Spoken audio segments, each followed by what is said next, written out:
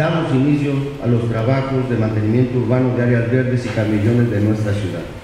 con el cual el gobierno municipal, que tengo el honor de encabezar, busca mejorar la imagen de nuestro Veracruz en beneficio de sus habitantes, así como también del turismo que nos visita en nuestra ciudad. Estos trabajos aspiran primordialmente a mejorar el paisaje de nuestra ciudad con trabajos de rehabilitación en áreas verdes municipales como parques, jardines y camellones,